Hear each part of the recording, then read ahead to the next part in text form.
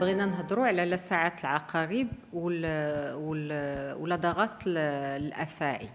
هاد العقرب ملي كيلسع آه، حنا في المركز المغربي لمحاربة التسمم واليقظة الدوائية كنسجلوا 30 آه، كتوصل لنا 30 ألف حالة آه، لسعة ديال العقرب في السنة. وكيكون عندنا تقريبا 50 حالة وفاة كيموتوا 50 ديال الناس. هاد 50 ديال الناس الأغلبية ديالهم أطفال اللي ما عندهمش اللي عندهم قل من 15 عام هاد العقرب ما يمكنناش نجريو على العقرب. العقرب راه هو كيعيش في الطبيعة. خصنا نديرو وسائل اللي باش نمنعوه أنه يقرصنا وأنه يدخل البيوت ديالنا.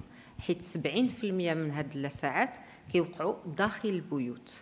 وهذا المشكل هذا ديال لساعات العقارب يمكن لنا نقولوا بأن الوقاية منه سهله خصنا اولا في قلب البيت في المناطق اللي يمكن لنا نقولوا بأنها هي المناطق اللي اللي فيها المشكل. شكون هما هاد المناطق؟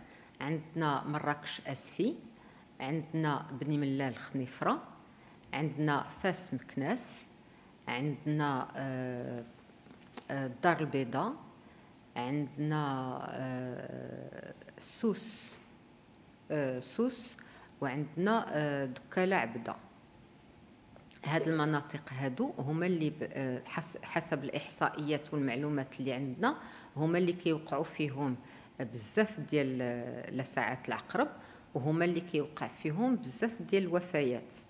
الوغ في هاد المناطق كنطلبوا من الناس ملي يكونوا ملي يوصل فصل الصيف أنهم في قلب ديورهم يقلعوا كل هالمسائل الزايدة.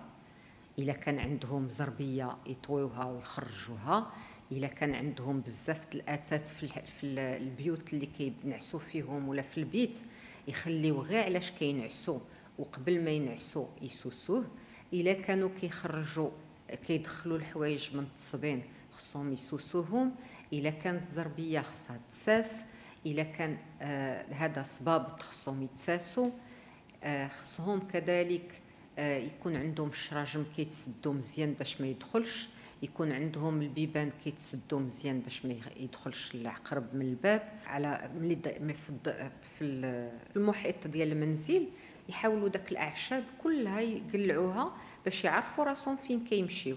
كذلك كنقولوا على الزبل. الزبل ديال اللي كيخرج من الدار خصو يكون مبعد خصو يكون في سطل الزبل مسدود وخص هذوك الناس ديال الزبل يدوزوا باستمرار لأن هذا العقرب كياكل داك الحشرات اللي كتكون في الزبل. هي أغلبية الأحيان أغلبية الأحيان هي في البوادي.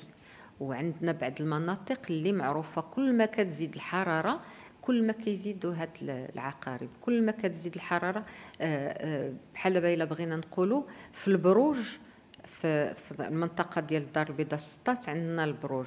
في المنطقة ديال مراكش ديال مراكش آسفي عندنا آه، المنطقة ديال الرحامنه هي اللي معروفة. والرحامنه قلعة الرحامنه كتطلع دغيا دغيا كتوصل لبني ملال وأزيلال. دونك دابا هذه المنطقة ديال الرحامنه وكتدور عليها واحد المناطق كلها. حيت حتى البروج راه قريبة من من رحمنا إلا جينا نشوفوا من ناحية الخريطة.